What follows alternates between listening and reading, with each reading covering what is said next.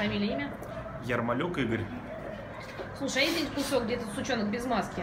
Слушай, я вроде все просмотрел, везде в маске. Хотя